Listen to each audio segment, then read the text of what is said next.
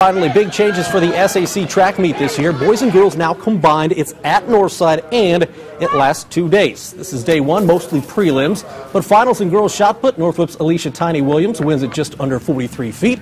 Girls high jump, Brianna Phillips of Northrop, your winner. 5 feet 4 inches. Northrop girls a 21 point lead after just four events. Meanwhile, on the boys' side, Shatan Vaughn wins the long jump. Northrop boys in first place by 8 points with only three events in the books. Most of the finals are scheduled for Friday. That, of course,